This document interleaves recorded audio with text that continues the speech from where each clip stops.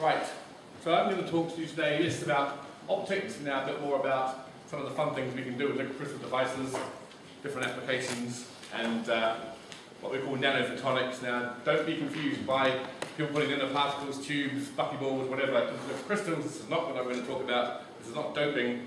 This is actually playing around with the device structure itself, the geometry of the device, by putting in essentially unusual shaped objects on the surfaces, pillars, etc., usually based around carbon nanotechnology, which then allows you to play with the um, physics of these things. So, as usual, my talks are pretty no frills, no maths, um, nothing too complicated, just lots of nice pictures and videos. And I'm going to talk to you today about essentially combining liquid crystals with multi-wall carbon nanotubes, specifically grown on the surface to form electrodes. They change the geometry of the pixel, they allow us to create different optical effects, and maybe even something wacky like metamaterials, etc., um, to get onto various bandwagons. So here's our first clickertastic question. Your clicker's ready. What is typical dimensions of a multi-wall carbon nanotube? Is it 5 millimeters, 5 nanometers diameter, 100 millimeters long, 5 millimeters diameter, 10 meters long, 50 nanometers, 5 microns long, or 500 nanometers diameter and 50 microns long.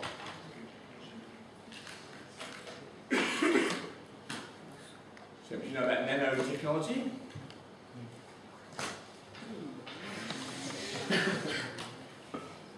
so yeah, so we're 40, it's level 42, me like 43. We have a winner. Right, stop there, have a look. Whoa, that's interesting. Ha, caught you all out. So everyone thought A, 5 nanometers diameter, 100 nanometers long. I'm afraid that's the wrong answer. That would be a single wall carbon nanotube. That would be essentially the smallest little roll up of carbon I could make. In fact, the right answer is the yellow one, C, roughly 50 nanometers in diameter and 5 microns in length. They can be variable length, but that's kind of the average size. That's about 7 to 10 skins of carbon, like an onion. Um, uh, also B, may sound stupid, but 5 nanometers diameter, 10 meters long, has been done. In fact, they've made hundreds of meters long. Basically, you can grow them and just keep on growing them and keep on growing them. In fact, they start spinning them and making fibers out of them all sorts of cool things like that. So it's not necessarily that stupid an answer. And also, the quite hard to get that size of uh, concentric rings of carbon. By the time you get to that kind of diameter, you've got what's called grass, which is basically a whole clump of uh, um, single wall carbon nanotubes all grown together like a sort of a, a, a chunk of you know, forest of, of, of hairs. Got to make one single tube, multi-wall, you want option C. Not bad. Fooled you already. Give me a long talk, cats. Right, so why don't I do this? Well, Bill Crossland yesterday talked about holographic projection, and uh, what he didn't mention is that you don't have to do two-dimensional holographic projection. You can do 3D holographic projection, and this is a really cheapo, nasty holographic display. I'm going to use the really high-tech pointer here. I love using a stick. So we have here a crystal micro display, as was mentioned yesterday, and a laser illuminating it, and then we just look through a series of mirrors, none of which have smoke on them, by the way, and I see a three-dimensional image. Because basically I can diffract the light from the SLM to different positions, different angles of the eye, and therefore I can give a fully proper 100% three-dimensional illusion. None of this auto-stereoscopic malarkey you get in the high street or at the cinema. This is proper, non-vomitizing 3D. Great stuff. However, as you can see, dodecahedrons and cubes, not terribly exciting. Two reasons for that. One is that computing holograms takes a fair amount of oomph on the computer. Therefore, there's a computational issue that's kind of being addressed as the infinite excuses of Moore's law race on. The other problem is that there's kind of an information limitation based on this puppy here. This SLM, this pixelated device, has two limitations. It has a number of pixels. That kind of decides how much you can actually diffract the light and control it. It's like a sort of a, a limitation on how much information you can have in your hologram. Quite a complicated relationship to decide decipher that one. There's also the pitch, the periodicity of the pixels. And that very much affects the angle. This angle here, the angle that the light is actually diffracted by. Therefore, how much of the hologram or the view you can see. And at the moment, for a standard off-the-shelf device like we saw yesterday, that might be 10 microns pitch. That means you have about a 10 degree viewing angle. That's not a very wide angle. That means you've got to peer into it really carefully to see the image. So therefore, we're limited by this liquid crystal um, device here. Why? Why? Because of this. We have square pixels. We love square pixels. No one knows why we love square pixels, but we do. There's my crystal molecules, there's my top and bottom electrode, there's my parallel plate capacitor, uniform field, that's crystal material, as you already know from Ender's lectures on cells and um, dielectric responses. Problem is, this is rubbish for holograms. Holograms are not made up of square pixels. They're made up of continuously varying refractive index profiles. If you look at a photographic film hologram, which is one of the highest quality holograms you can get, they are not pixelated objects, they are continuously variable distributions of refractive index. The only thing that limits them is the grain size of the photographic film itself.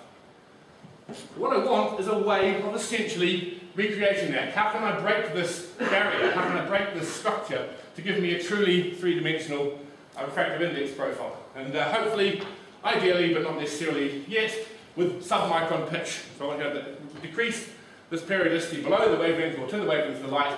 Therefore, I can diffract over wider angles. I can get more bang for my holographic buck.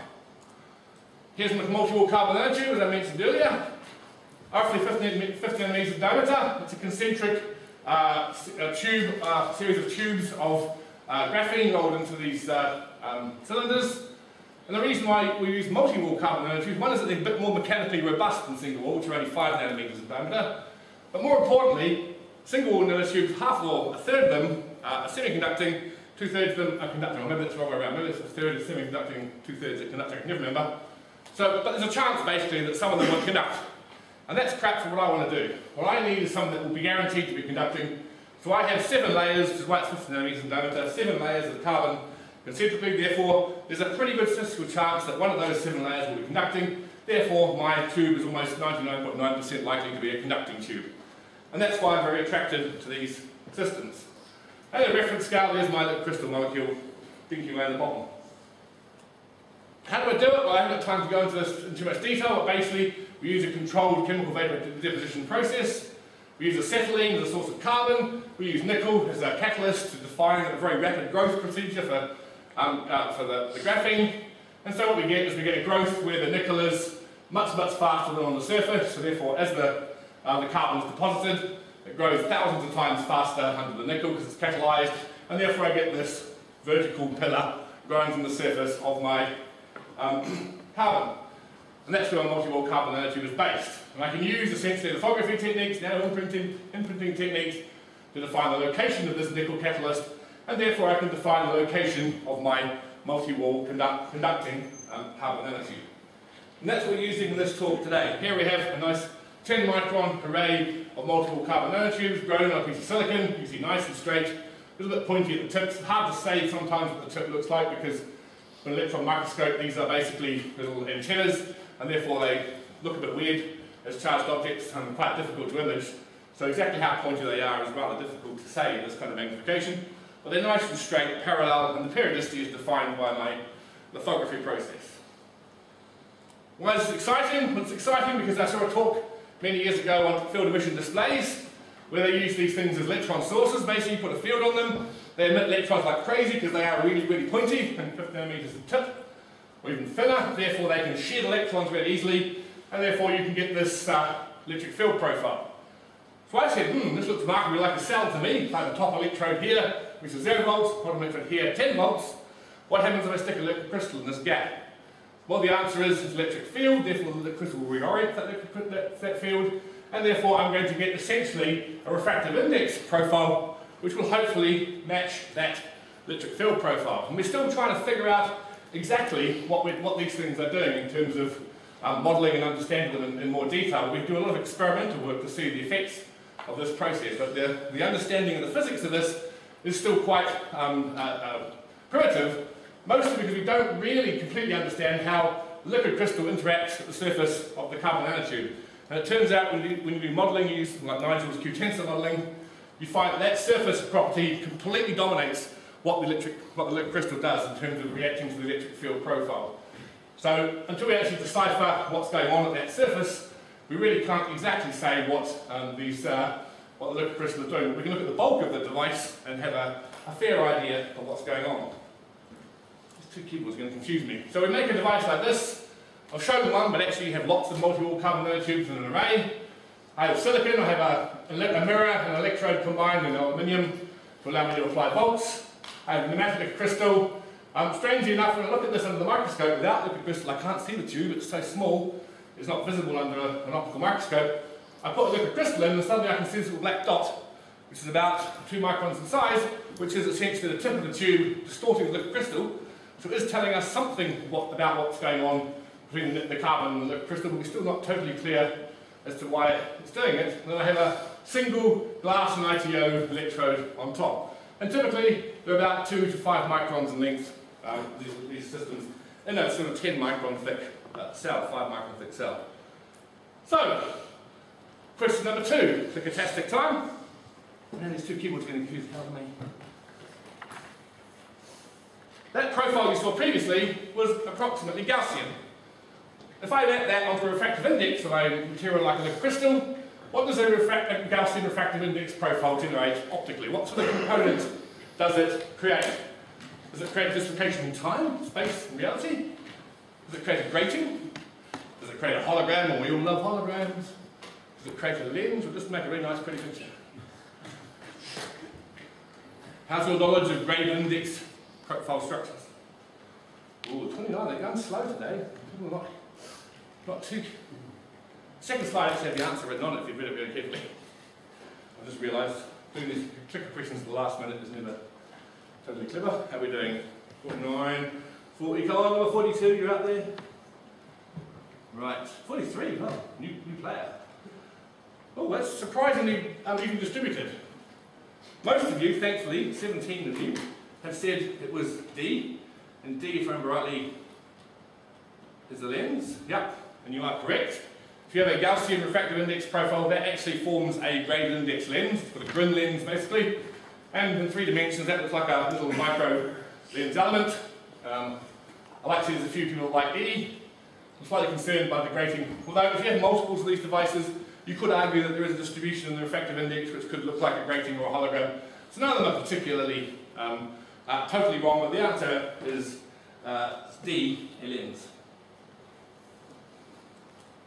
So what we do, as I said before, we apply electric field, we get a Gaussian um, electric field profile. I'm making an assumption without the in-depth modelling knowledge in the background that I'm going to get a completely uniform uh, refractive index profile. And if I assume that's the case, then what I should get is a lens. But it's a lens now that by changing my field V, I can reconfigure the properties, I can change the distribution of the field, and therefore I can change the properties of my um, structure. And that looks like a lens or a lensless array which I can then switch on and off and actually also vary the focal length.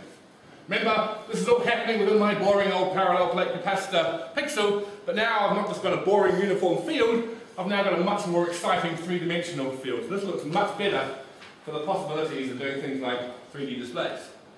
And that's just to show you a typical array. We actually have groups of multi-wall carbon nanotubes for reasons that I haven't got time to go into today, but it gives you a slightly more uniform um, refractive uh, you electric field profile. Some of them are groups of three, some of them are groups of four. Um, once again, it just depends on the, on the, on the, growth date more than anything else. But by having a group, we get a slightly more Gaussian shape than you do by having a single tube. And here's the very early results we have. You can see these groups of four. You actually see little really resolvable dots that are the tips of the tubes to store the liquid crystal. And as I apply a field, this is without any um, um, polarizers, this is just purely uh, down the microscope.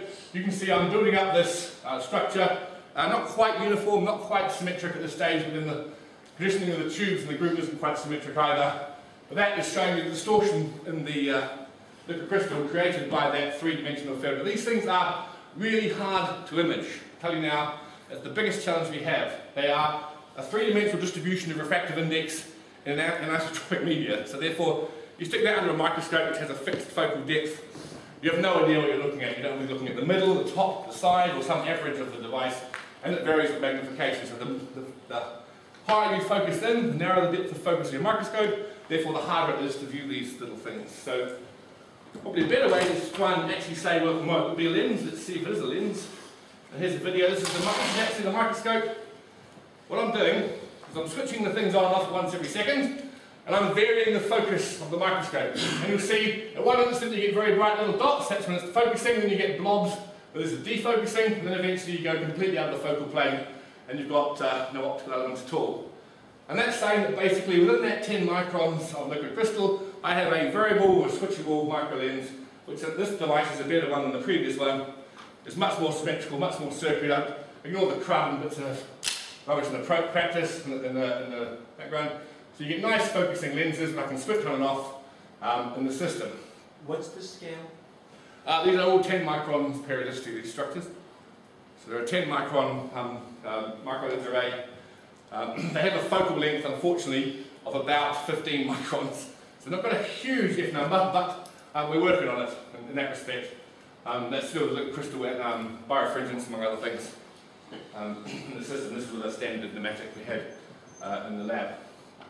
But it's definitely showing that it has that uh, focal property. So we can make these lenses. This is an interferometric image to show that we have the same um, structure. A look at these pictures. Not terribly exciting, come on. And also, we don't, we don't have to do them on silicon. This is a device that's done on quartz. But if it's silicon, it's a reflective device, and actually reflect, reflective microlenses are not terribly useful in many applications, whereas a transmissive microlens array is very useful. So these are the first ever, um, I can't say carbon nanotubes, they're going to be called uh, nanofibers. The tube has to be parallel on its side, and so in the world of nano, if you call that a nanotube, they get very upset. this is a nanofiber, because it's slightly conical in shape, it's just because of the growth on this quartz. It's quite difficult, quite fiddly. Um, the growth is at quite high temperature, so it's quite difficult to do on substrates like glass, where essentially your catalyst just gets sucked into the, uh, into the glass um, and diffuses away, whereas on quartz, high temperature um, works quite nicely. And I know quartz is birefringent, so there's other problems with the optics, but at least it proves that we can do a, uh, a micro lens, uh, which is uh, uh, transparent. And so here's an example of a micro lens array uh, being used as, a, as what's called a integral imaging system.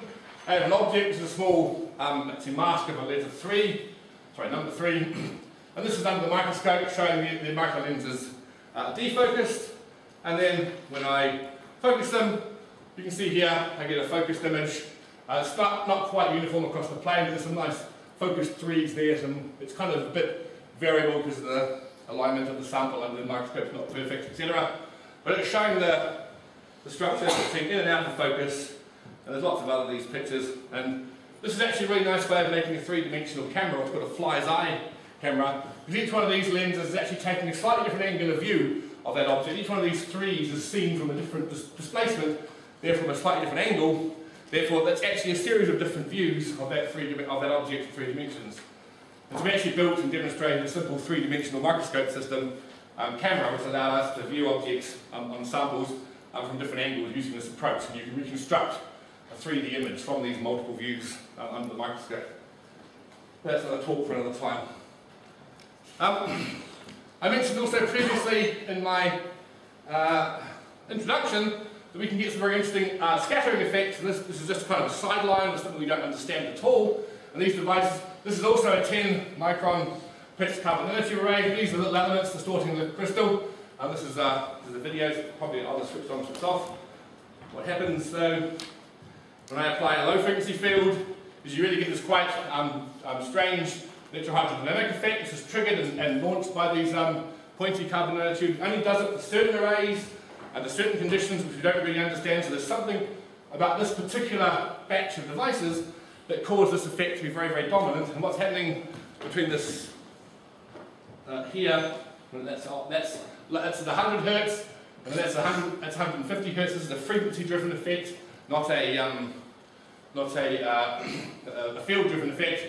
And it's not also a negative dielectric anisotropic material. It's a positive standard nematic. Um, but what I think is happening is that these tubes are very, very pointy indeed. This particular batch happened to come out really sharp in the fabrication process.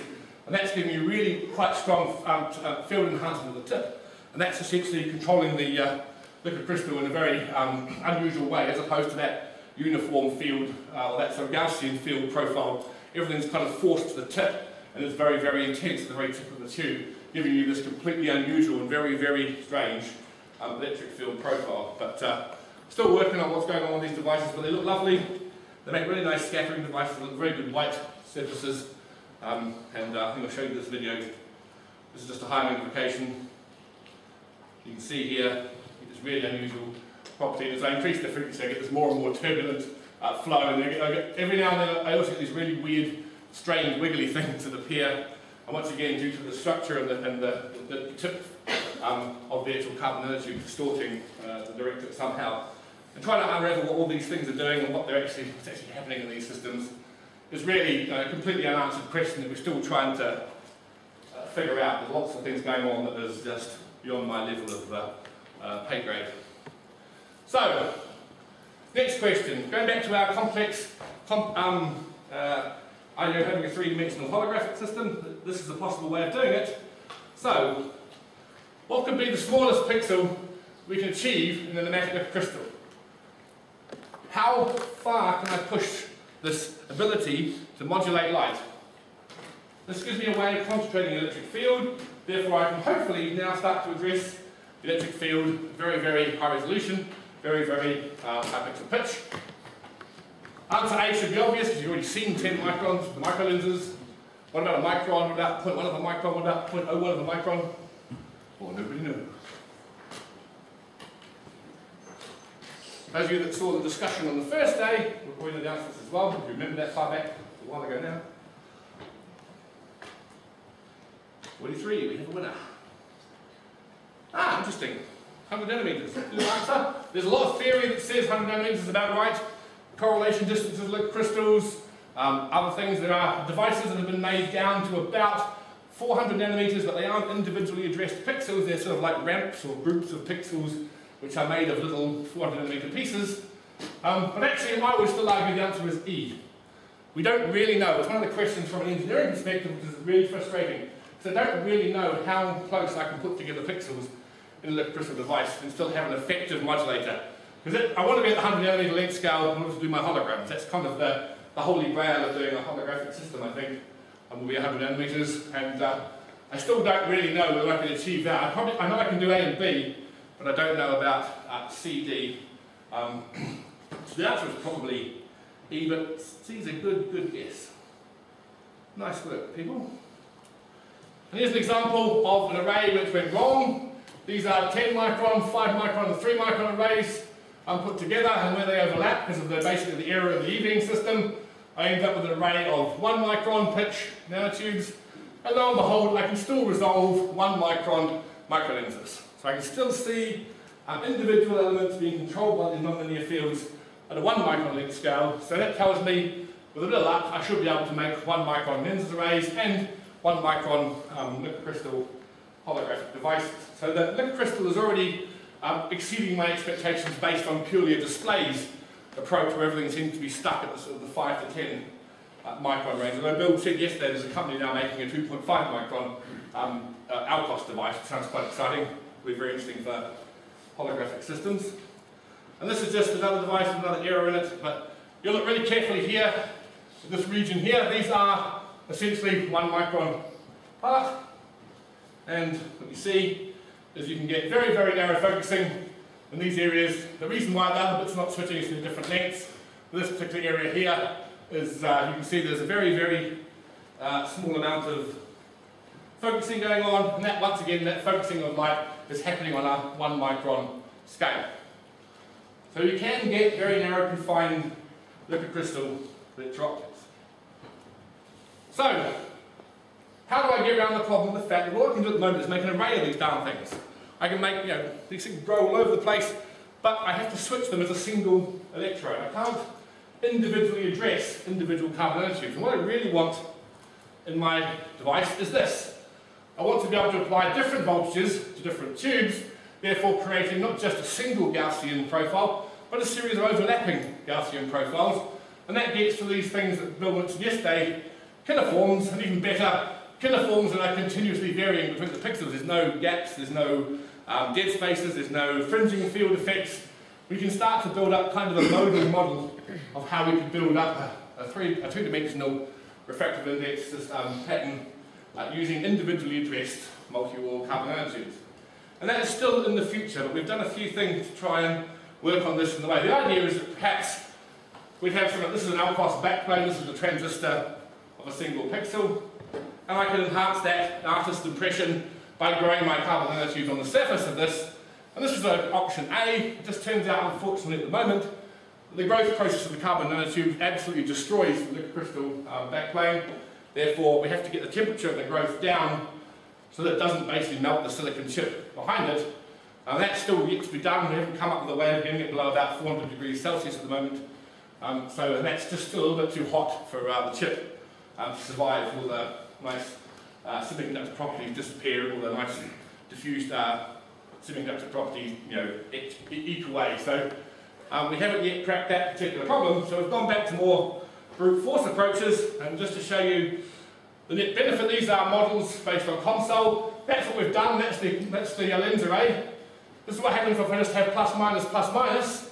You can see now, rather than having this sort of Gaussian structure, I've got this kind of almost like sinusoidal uh, periodic structure. And if I have like a grating with a ramp, this is just positive, 4321 volts, you can see I get quite different um, electric field profiles and some really quite unusually distortions in the electric field here, um, repulsion, etc. between the tubes, which allows me to control the refractive index, hopefully, in a much more sophisticated fashion. This is something that we really want to have, but yet still don't have a way of doing it.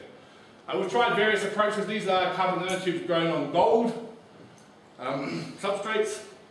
And this is a device, you can see this actually varies. And, um, I, have, I can't quite remember, we used a, a cholesteric um, material. This is a, a, a twisted nematic, uh, helical nematic structure. You'll hear more about this afternoon in lasers and Harry's talk. Um, oh, this is one array of tubes here, one array of tubes here. This is a 10 micron gap. And hopefully you can see this is kind of a purplish colour in here, and this is coming a yellowy colour here. So hopefully what we think is happening is that we're distorting somehow that chiral structure um, between those two walls of tubes. So that showing that I can actually address the field laterally rather than just vertically from the surface. Then you get really weird things like this. That's just a bigger blown up picture. Then you get really weird things like this. No, turning the lights off. Ooh. And it's on.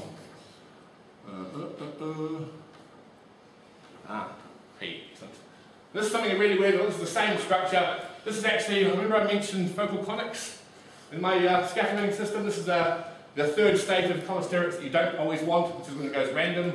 And this is essentially the same structure. You can see here I'm getting quite a lot of um, cholesteric. This is the, the band gap that um, Stephen and Harry will talk about, and these cholesteric structures. Um, and that gives you essentially a, a colour filter, you know, a gap in the wavelength spectrum. And you can see here that it's coming quite an interesting distorted um, electric field profile. Looks a bit like kind of a, a fire explosion um, uh, from above. And that's uh, coming from these unusual uh, electric field profiles. You turn it off and it all disappears and goes back to the photonic again. So you get this really strange, um, unusual alignment of the, um, the helix and these structures. That's kind of an aside. We tried another approach. We thought, well, okay, we've got this boring single electrode on the bottom, substrate.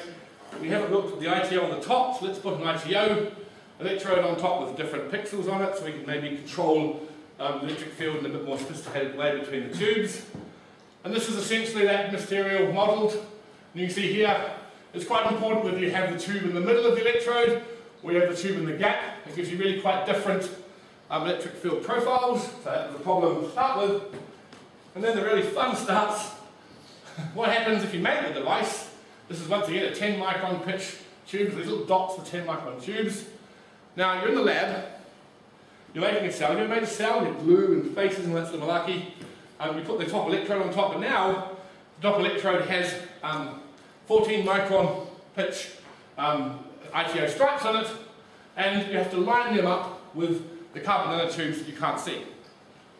So you can't see the carbon nanotubes, and you can't see the ITO, so how on earth do you get this device to line up? Well, the answer is you go and hope it lines up roughly, and that's what you get. You can see it's kind of lined up, um, but there are quite some quite very different variations across the structure. Um, so there's about, uh, if, that, if that point there was aligned um, with, the, with the gap of the ITO, then there'd be about halfway across over there. So yeah, there's a little bit of tilt, a little bit of angle, which is why you get this really quite unusual distortion. If you want to talk about disclinations and uh, defects, have a field day. There's enough there to last you a lifetime in terms of the things you want to try and predict. And that's just a slightly higher magnification uh, picture. You can see really quite complex structures, but also very interesting, this kind of control here is getting towards the micron scale distribution I want to be able to do with my holographic system. I want to be able to break this 10 micron square pixel barrier, and here I've got a continuously variable, much higher resolution structure, but at the moment I still can't control it perfectly because of this problem of trying to align these uh, systems. And this is just a video, this is a more complex area. Some totally bizarre things going on here because this is where there's a, a defect in the growth of the process. These are where the carbon nanotubes have grown normally. And then this is a gap. This is where something went wrong and there's no nanotubes or it's completely blank silicon. But yeah, what's going on here? And, and here, this one here, it's just, I have no idea what's going on in these systems. And even worse, switches. This electric field applied. So you can really get quite complicated, unusual structures um, when you switch these things. And you've got three electrodes to play with, so you've got lots of like, things you can switch. And you can make umpteen million lovely videos, which I've done. But really importantly, here, I'm getting lenses which are confined onto the micron length scale. So I'm really getting features which are getting towards where I want to be with these structures. All these disconnections, all these lovely distortions are all at the micron length scale. But yet I still cannot get the thing to perform um, uniformly because I can't control the fabrication process accurately enough to get everything beautifully lined up and make a single uh, predictable device. Also, when in doubt, bang a laser on it and see what happens to the diffraction pattern. Always a nice result. This is uh, that damn diffraction pattern. So this is just a laser pointer literally being bounced off that device. This uh, periodicity here matches the periodicity of the uh, 10 micron nanotubes. So look what you switch it. That's the diffraction pattern as you're switching it on and off.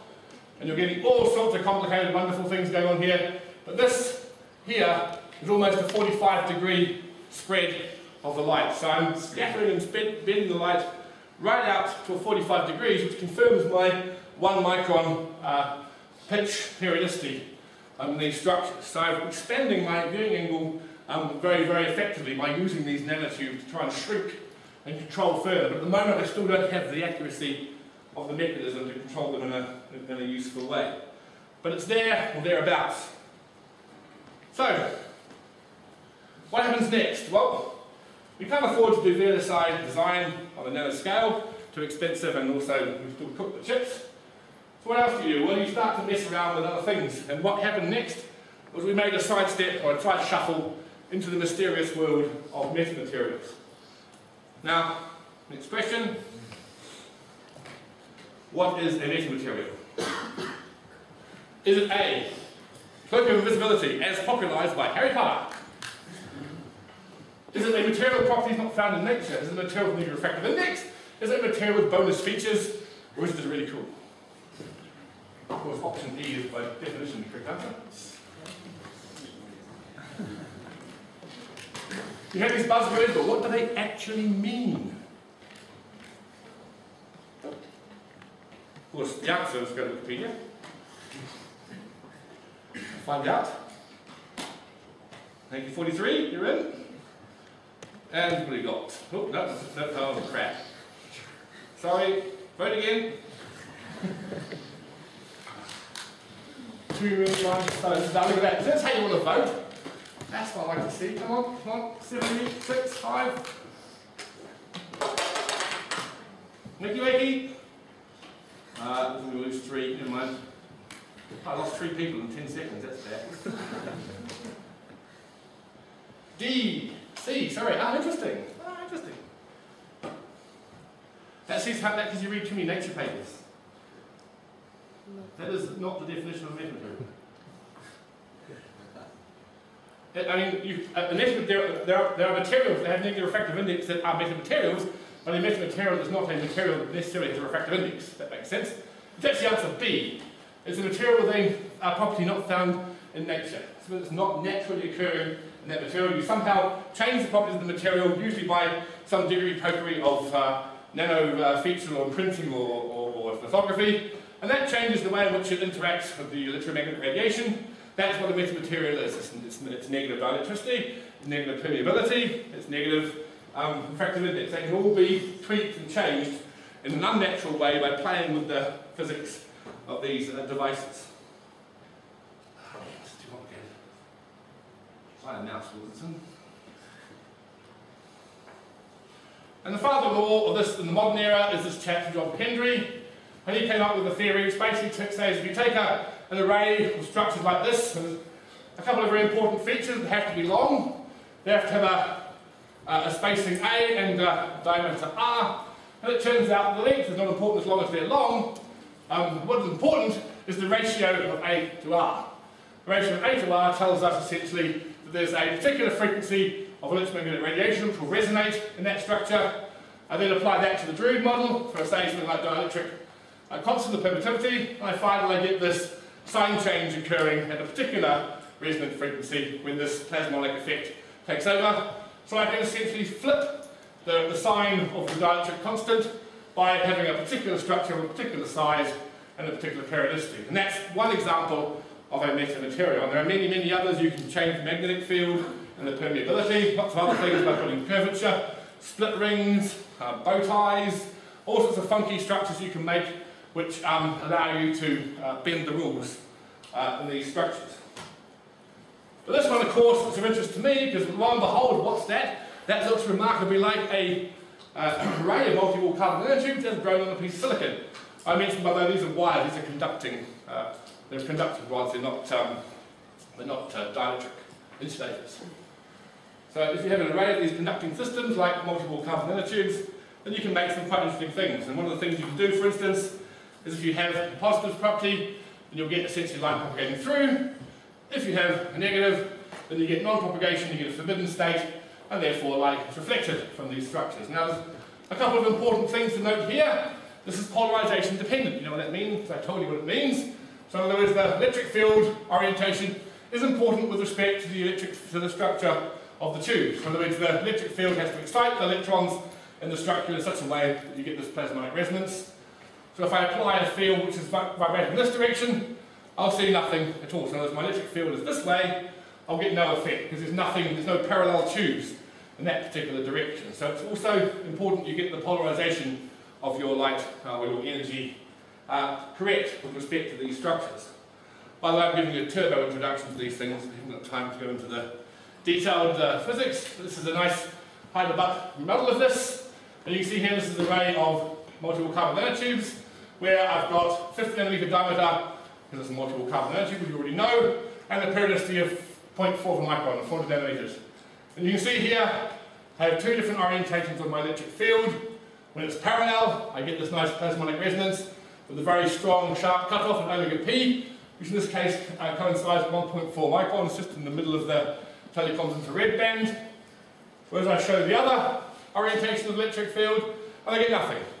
I get this nice dip here. This is essentially Bragg diffraction um, from the the structure, but that's got nothing to do with this particular process. What I don't get is any nice, sharp, plasmonic uh, cutoff. So, can I do this in reality? Well, of course the answer is yes. Because while we were growing these 10 nanotube um, arrays, my stunning student Ching was busily in the clean room making 0.4 micron nanotube arrays, and that's a high, high magnification, high magnification, and very close up. Also pointing out here, note these little blobs on top. That's actually the nickel catalyst ball. The nickel, nickel, nickel process, nickel is not actually um, touched by the growth process, it just catalyzes the carbon growth. So you end up with a tube with a little ball sticking on top. That's why the little funny round caps on them. And you get occasionally the odd wonky one. But the majority of them, you get the odd bit of mank in here as well. But the majority of them are growing nice and parallel, long enough, and the right size to behave in the uh, world of Pendry. Problem is, these are really nightmare things to actually analyse, so Haida and the guys in the Cavendish, next building over actually, spent quite a lot of time trying to measure these things. They took that array and they had to essentially get a variable wavelength source, which is essentially an electric field incident in this direction here.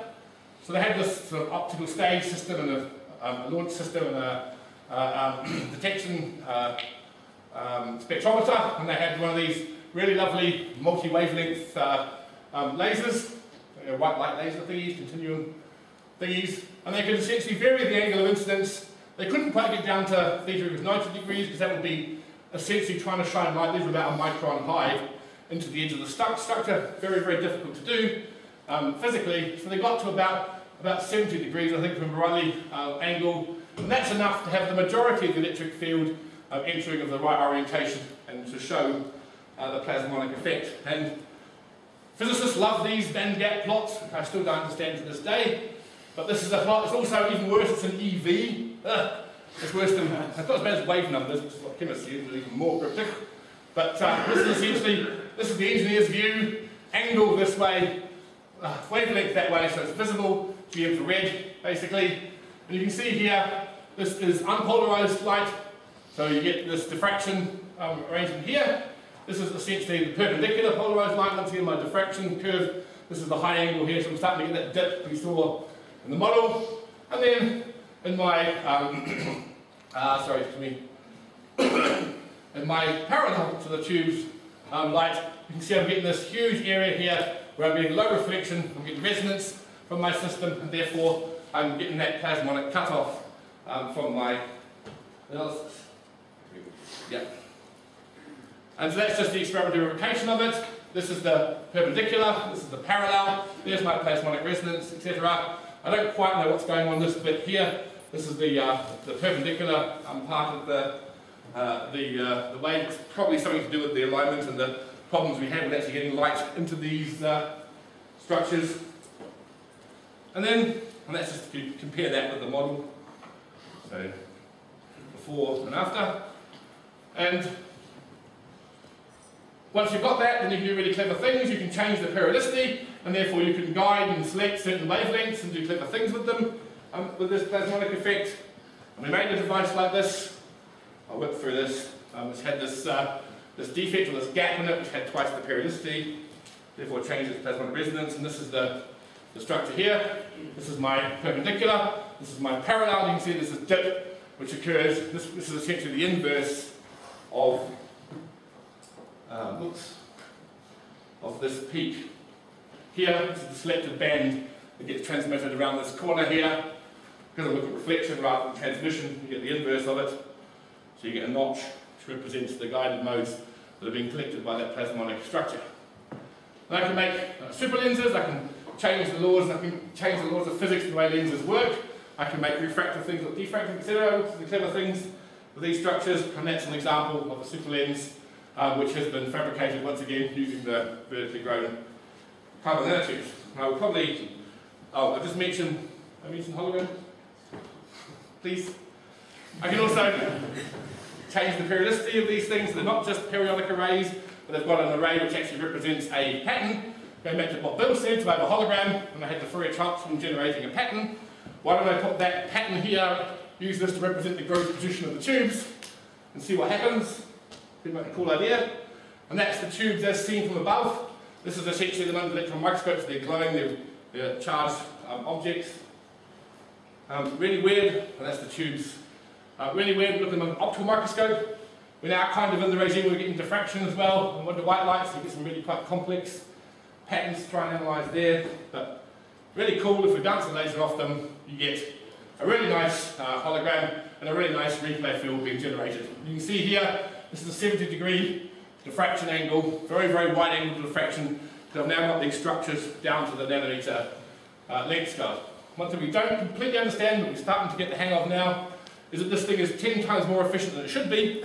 If you base it purely on an amplitude hologram, where the tips are essentially absorbing the light, then it should be 3% efficient, but this is more like 30% efficient, so therefore there's some plasmonic enhancement going on. In other words, the interaction of the light between the tubes is actually creating uh, a phase change which is giving us uh, more of a holographic effect than we just see purely from an amplitude hologram.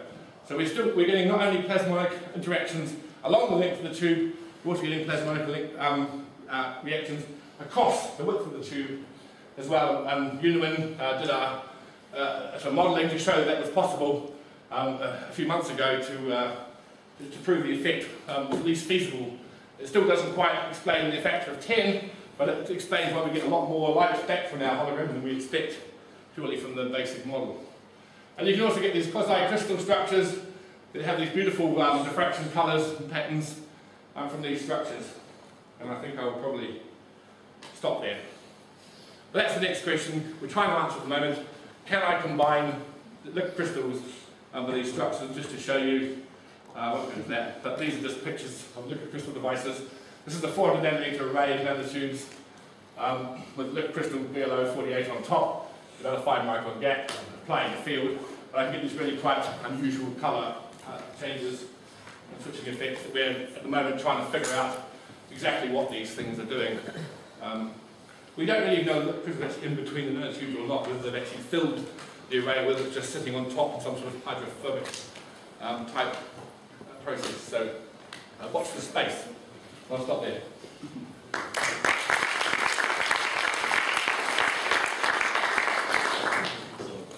Any questions? No questions?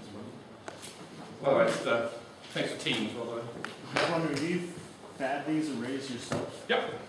Um, would you get, And that beautiful building that's hiding behind those ugly mug shops, which is about 100 yards to the right. I was just wondering, would you get better quality control if you sent it off to a company to do that for you? No, probably not. We're probably the, the machine that we use is Black Magic, is developed in our lab. It's now commercialized by Aixtron and make commercial fab equipment, but we have the kind of the, the know-how, the, the ground zero knowledge of how these machines work. So I, I'd argue we probably do it better than anyone else at the moment in this growth process. I don't think so. And also, if you were trying to control your voltage to each tube individually, couldn't you, like, uh, just like print different little silicon squares under each tube? Like, How would you address them though? You somehow got to get the, the field on there. We've done some wire devices, which are just one-dimensional wires on tungsten, because you can grow tubes on tungsten quite easily. Kind of worked, kind of didn't work. Very difficult, something being short-circuited. You know, we made them with 100 nanometer spacing. It's very hard to make a grating that has 100 nanometer spacing where they're not shorting each other out somehow. One tube has to just fall over, and you've got yourself a short.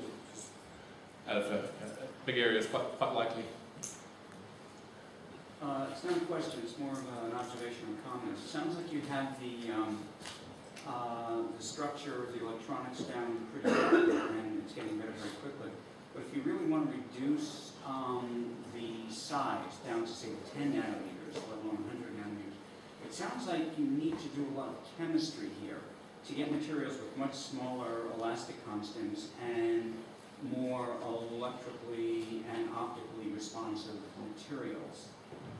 Yeah, no, I agree. I think it's, it's we're using materials that have been built for the standard display industry and offshoots thereof and various experimental you know, research, but nobody's made a material that's been designed for this process. So yeah, there's going to be some uh, custom chemistry, perhaps why we have a pet chemist in our, in our group who is uh, at some point going to have the spare time to do this. collaborations? Yeah, yeah, I mean, it's, it's very important, but at the moment we don't really quite know what we're looking for in the material to know. Uh, it's very hard to get a cohesive argument as to what the important parameters are on a liquid crystal material in terms of what controls its, uh, the size of a pixel. So you get lots of different stories. People are talking about uniform areas or disclinations or defect. There's lots of different things that could possibly be dominant in this structure. I mean, I see this as essentially a controlled defect structure. I'm actually creating defects in a controlled manner, using them as my diffractive elements rather than uh, having them as an unwanted thing which appear in the sideline of a, of a structure. So you know, I don't really know enough about the crystal materials yet to know what the right answer to that uh, uh, observation is, but you're definitely correct, we need to do some materials uh, design as well as just playing with the engineering of these structures. So, Uh, MWC used in the present study, uh, was they functionalized or uh, used as it is? Sorry, say that again. Were they functionalized or not? Functionalized? No. Just straight good old carbon. So, uh, Not even how, annealed. how they got a straight pattern uh, with the field or anything? Uh, they're grown, the Black Cat, sorry, Black Cat. The Black Magic system is a chemical vapor deposition system, so it creates a plasma, but it does it in a way you can apply a uniform electric field. So there's about 600 volts of, uh, of electric field applied across this something called a shower head on top, which is where the gas comes down and creates the plasma. That's also at, at a high voltage potential. So the tubes grow nice and straight. There's a guy called Ken Teo about 10 years ago who perfected this technique of growing these tubes beautifully vertically. I mean, that very first picture I showed you way back at the beginning, is a, is a, is a stolen from Ken Teo picture. Um, and that, that, these are the tubes he grew when he first first developed this process. And it's because of that uniform electric field, there's a, a, a graphite base you grow the, uh, you put your sample on top of, and that is your, is your ground um, connector, and you have 600 volts in your shower here. and you get this really nice uniform growth. And they can grow very tall. We've grown them, you know, millimetres long. They start to wobble a bit in the, in the sort of the thermal fluctuations of the plasma by then, because they're quite hot when they're growing, but uh, they still come out pretty straight. The problem when they're very close together is that they tend to do this, they tend to touch each other. There's some sort of attraction at sort of the nanometer length scales. So we grew a lot of samples which would do that in a random kind of way, and that's what um, Ching perfected in this process, was how to get the gas pressures and temperatures right so that they grew nice and straight, but at uh, sort of uh, 400 nanometer. And that's about the limit. We've never got below 400 nanometers yet. I mean, you can do lithography down to 50, but the tubes just grow together if you go that, that kind of uh, periodicity. Okay, that was just thank speakers.